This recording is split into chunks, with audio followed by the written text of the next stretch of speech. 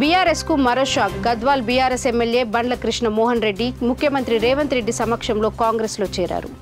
Jubilee hills నివాసంలో కండువా కప్పి పార్టీలోకి ఆహ్వానించారు సీఎం.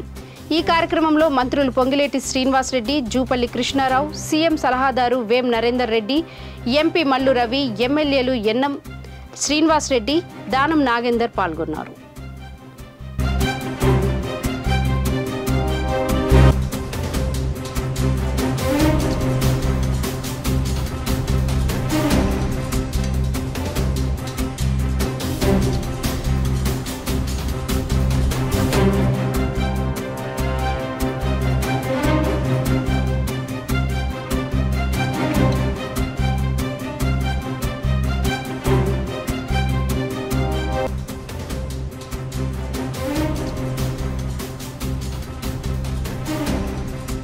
ఇతర న్యూస్ అప్డేట్స్ కోసం ఛానల్ని సబ్స్క్రైబ్ చేసుకోండి.